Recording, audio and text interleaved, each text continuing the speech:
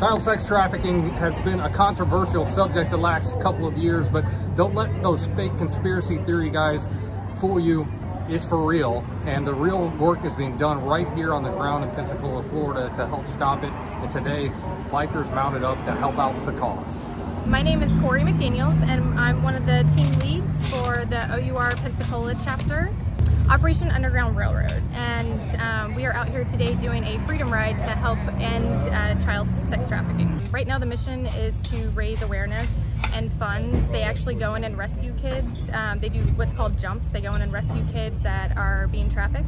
Um, it's one of the largest epidemics that we have going on right now in the United States. Unfortunately, it's one of the biggest contributors to trafficking. Um, trafficking isn't just sex trafficking, it's also for uh, you know, working, um, slavery type things. They also do organ harvesting. There's a whole lot of trafficking that happens. A lot of people have the wrong idea that trafficking is like the movie Taken, where someone goes overseas and they get kidnapped.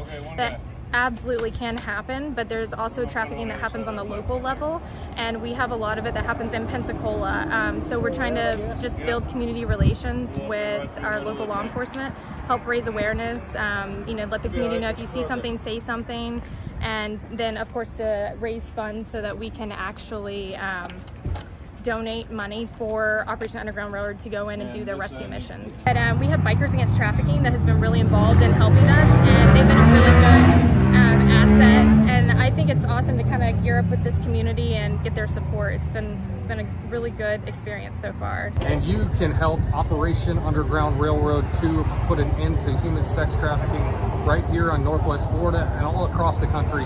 You can find a link on how you can donate or get involved at the Biker Dad blog. That's biker-dad.com or just click on the link in the description of this video. In Pensacola, Florida at the Harley Davidson dealership here on the beautiful Gulf Coast, this is Chris Best for the Biker Dad blog.